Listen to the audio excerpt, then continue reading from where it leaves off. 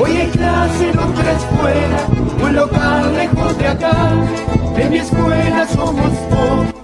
Ideas Radio tiene el agrado de presentar La Escuela y la Radio. Un libro nos une. Lectura de libros de autores nacionales y de la región. Produce, coordina y colabora Inspección de Escuela de la Valleja, Grupo Ovejitas del Norte y Maestro Julio Ibarra. Un espacio que se emite desde nuestra emisora todos los días a la hora 10 por Infoideas Radio. Puede escucharnos por nuestra aplicación Infoideas Radio para Android y iPhone. Una gran ronda formamos, un árbol hay que plantar, nos esperará más grande al volvernos a encontrar. Jornada de agrupamiento, agrupamiento rural, niños, familias, maestras, en un día. ¿Cómo están oyentes de la radio y la escuela? Un libro nos une. Iniciamos este nuevo encuentro con las lecturas, con los libros, con las historias, recibiendo una generosa colaboración que viene desde PROLE, programa de lectura y escritura en español, dependiente de la NEP, y que ha desarrollado muchísimos trabajos en escuelas públicas, urbanas y rurales de todo el país.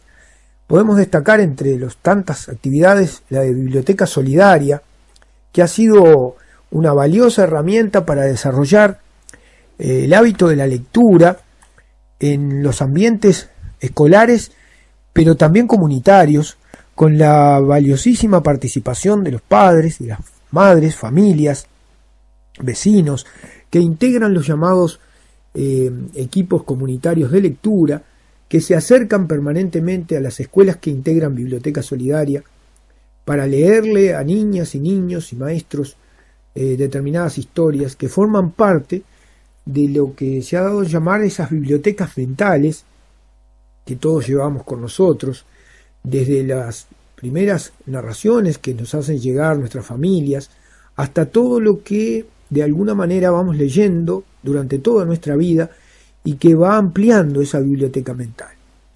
Este programa radial ha sido una de las cuestiones que hemos tratado de impulsar, surgido, como ustedes saben, en tiempos de pandemia, para que la lectura a distancia y a través de este medio tan valioso como la radio pudiera llegar en un momento tan especial como el que se vivía. Hoy justamente cumplimos 140 programas emitidos y lo hacemos con la presencia en nuestro micrófono de la maestra María Guidali, coordinadora de PROLE, que además eh, ha realizado un valiosísimo trabajo con todo el equipo de ProLey, de Biblioteca Solidaria, en muchísimas escuelas, como decíamos, del país.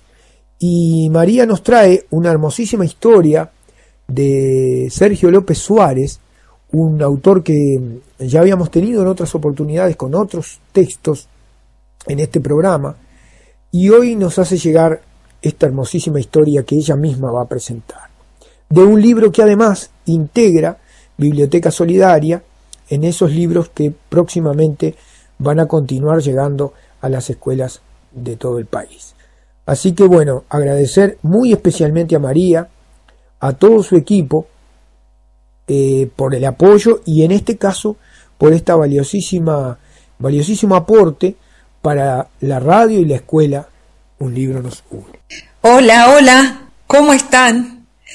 Eh, me invitaron a hacer algo que me encanta. Eh, y esta invitación la recibí del maestro Julio Ibarra. Mi nombre es María Guidali y integro el equipo que elaboramos los cuadernos para leer y escribir que ustedes tienen en la escuela. Y también eh, pensamos el, el proyecto Biblioteca Solidaria, que muchas de las escuelas de ahí del departamento participan. Así que bueno, les voy a contar que el libro que elegí para, para leerles hoy eh, se llama Mini Cuentos Infinitos eh, y es de un autor uruguayo que se llama Sergio López Suárez. Él es maestro y ustedes seguramente conozcan varias de sus obras, Por ejemplo, quizás les suene leyendas de Ñacurutú o Anina Yatay Salas eh, o Huacalá los Miedos o este sí que estoy segura que, lo deben conocer porque lo tienen en, la biblioteca solidaria, pero lo tienen también en el cuaderno para leer y escribir en segundo, el mulita. Diógenes no quiere ser ratón. ¿Se acuerdan?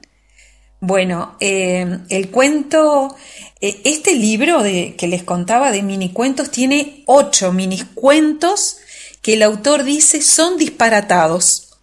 Y yo elegí uno de esos ocho para leerles, que es el primero que aparece aquí. Una cuestión interesante que me gustaría contarles es que eh, Sergio López Suárez dice que este libro especialmente reúne eh, un montón de cuentos que su papá, que era un trabajador de campo, un alambrador, le contaba a él. Le encantaba inventarle cuentos divertidos y él ahora se puso a recordarlos y los escribió y los reunió en este libro. Así que yo elegí el primer cuento que se llama Baile fronterizo. Ojalá les guste. Dice así. Los bichos del monte organizaron un baile.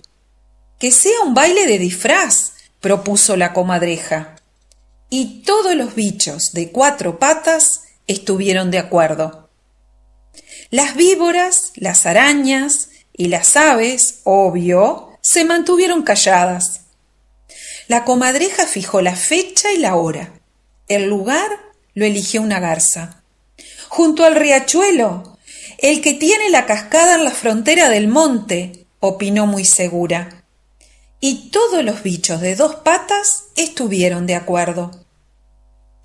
Las víboras, nuevamente, se sintieron excluidas y allí mismo decidieron no concurrir a esta fiesta. La noche del baile había luna llena los carpinchos, disfrazados de jabalíes, habían aplanado bien el terreno para disfrutar una linda pista de baile. La comadreja se disfrazó de bruja y apareció montada en una escoba hecha con una rama seca y un montón de hojas de palmera atadas en un extremo. Por sombrero llevaba una flor de malva silvestre de color violeta. Doña Garza se disfrazó de cigüeña, además de haberse alargado el pico, colocándose un cuerno de toro que encontró en el campo, también traía colgando de ese pico raro un pañuelo celeste enorme, que portaba adentro un huevo de avestruz que hacía las veces de un bebé. Cuando llegó el erizo, se produjo un gran silencio porque se había colocado un embudo en la trompa y clavada en las púas y al final de su lomo sacudía una enorme y olorosa cola de un pescado, que un lagarto informó que era de una tararina muerta hacía más de una semana. ¿De qué venís disfrazado? preguntó sonriendo una chancha vestida de empanada criolla.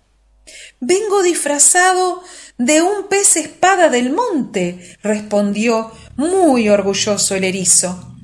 Las carcajadas que explotaron repartieron el olor espantoso de la cola de la tararira. Y fue tanto, tanto el mal olor, que ahí nomás se terminó el bailongo. Cada bicho partió riéndose para su casa. Y ahí quedó el erizo, serio, parado en el medio de la pista, envuelto por el asqueroso olor a pescado muerto, y cada tanto, muy pensativo, sacudía el embudo incrustado en su hocico y se preguntaba ¿Qué mal bicho les habrá picado a esos tontos para que resolvieran irse sin bailar ni siquiera una cumbia. ¿Les gustó? Ojalá que sí.